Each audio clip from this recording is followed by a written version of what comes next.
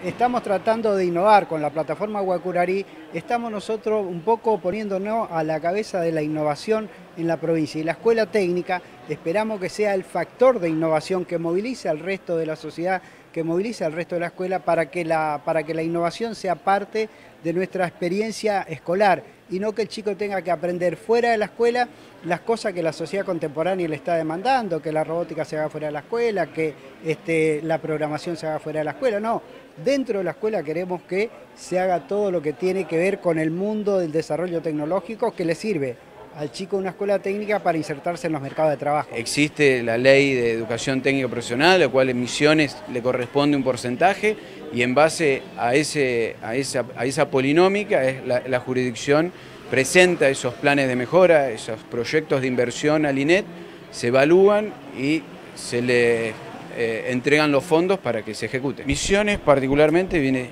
trabajando, trabajando muy bien, eh, venimos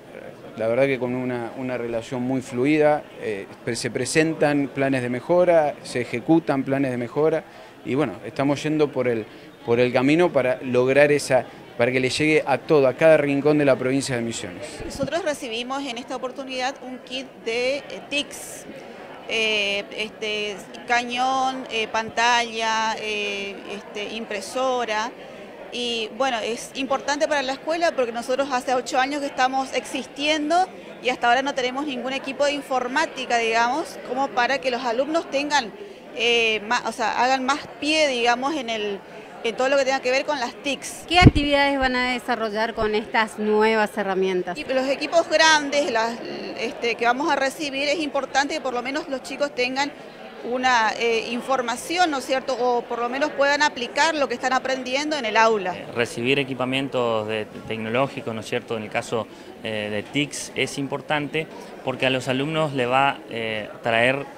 aparejado la posibilidad de trabajar con, con computadoras, este, en el caso de eh, los albergues estudiantiles, por ejemplo, aires acondicionados, equipamientos de frío, eh, también colchones, le, va a generar las condiciones óptimas para que el alumno pueda estudiar y pueda aprender de la mejor manera posible.